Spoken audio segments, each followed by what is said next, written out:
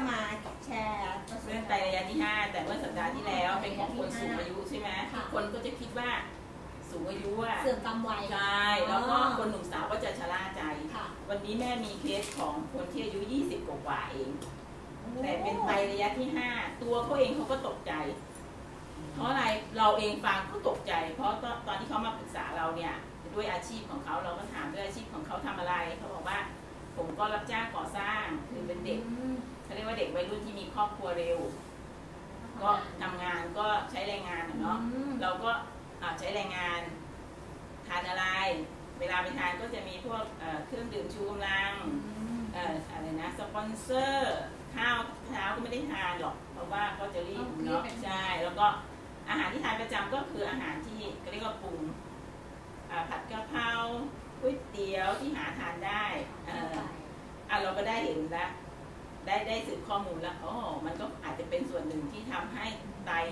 เสื่อมเร็วกว่า เพราะเราเคยเจอแต่เสื่อมเพราะได้รับเคมีอ๋อมีการรักษาได้ได้เราได้เคยเห็นแต่คนกลุ่มนี้ที่ที่เสื่อมเสื่อมเร็วกว่ากำหนดกว่าเอ่กว่าออายุเอ่อกว่าก็คืออาจจะได้รับอายุไม่น้อยเคมีบำบัดใช่มาหรือว่าอาจจะแต่เคสนี้เป็นเคสแรกที่เอ่อใช้แรงงานอืมแล้วก็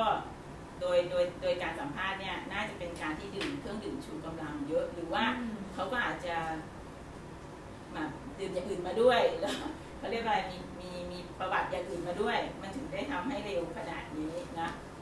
อะพอมาปรึกษาที่ช่วงแรกถือว่าในเรื่องของสารเสพติดอ่านะคะ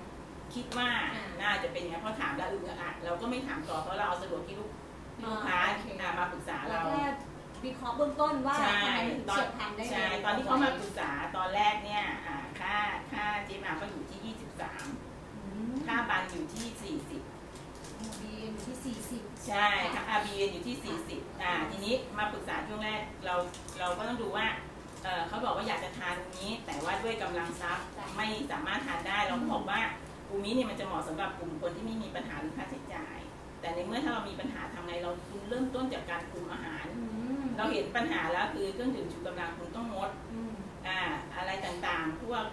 ที่มันทำร้ายสุขภาพตัวคุณเองรู้คุณต้องงดอืมอ่าน้ำอัดลมพวกเนี้ยคุณ ต้องงดอ่าเขาก็ให้ความรู้ไปหนึ่งเดือนหนึ่งเดือนกลับมาหาส่งค่าอ่าอันนี้คือผลตรวจมาปรึกษาก่อนหนึ่งเดือน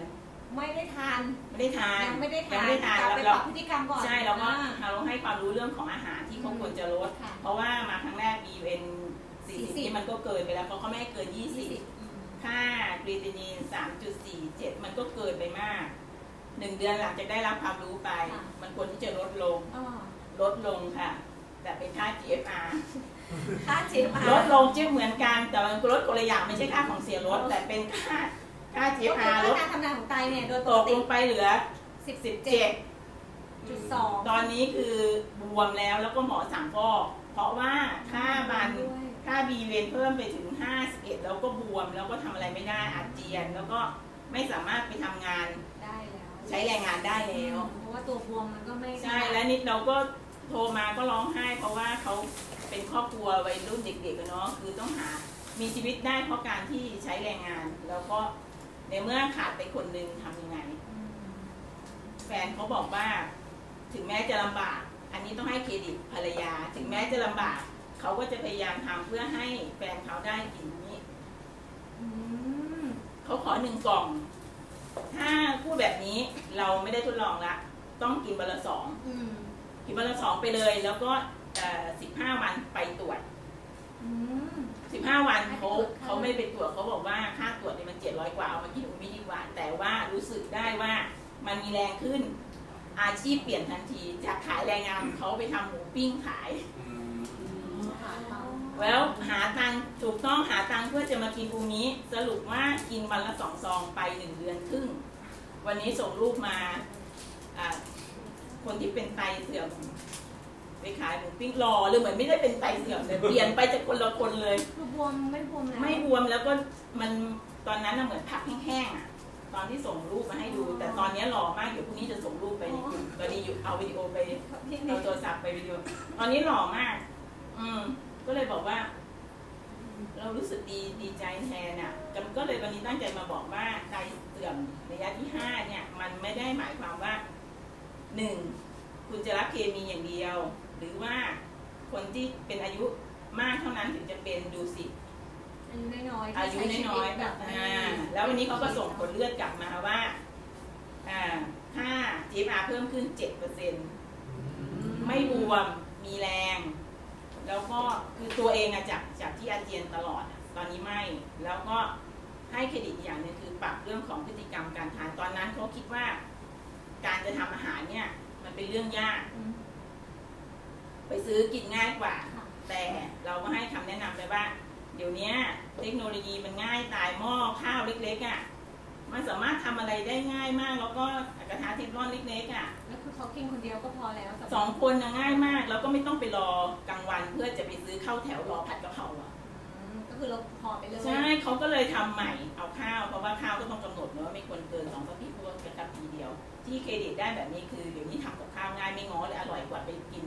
เพราะไปซื้อตามตามข้างนอกเนี่ยเราไปบอกเขาไม่ได้เอออย่าใส่หกชุดบอกได้แต่แม่ค้าเขาไม่ทำหรอกเพราะเขาก็ใส่ตามเดิมนั่นแหละเราก็เลยเปลี่ยนมาใช่ แล้วก็ค่าค่าผลเลือดต่างๆ ดีขึ้นทุกตัวเลย แต่ว่า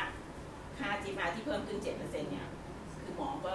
เออก็เดี๋ยวจะรอดูอีกก่อนอีกเดือนหนึ่งถ้า อย่างนี้ก็